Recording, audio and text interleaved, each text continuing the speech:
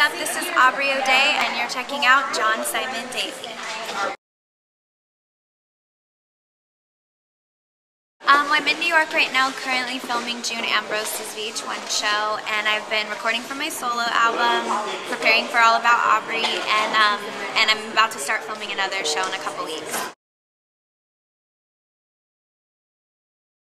Um, my reality show first season followed me uh, getting signed to Universal and working on my solo album, so the second season would be me making the album. A lot of urban pop right now I've been recording. There's a few dance tracks, but I'm, I'm, I associate most with urban music, but obviously my package screams more pop, except my booty. Um, so, so most of the music right now is urban pop. I love heavy drums over super pop hooks.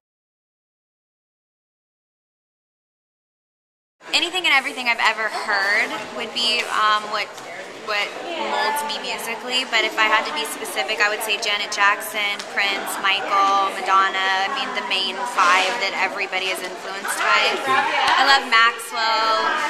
I love Ne-Yo. I also can go like Jack Johnson, Ben Harper route. I could go like, um, like I don't know. I listen to everything.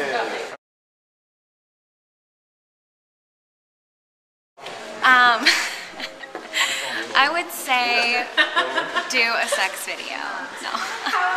Get in the music industry. I would say just constant work, singing, dancing every day, practicing your craft. You always have to be prepared at any moment for anything to happen, so you should always be ready to go.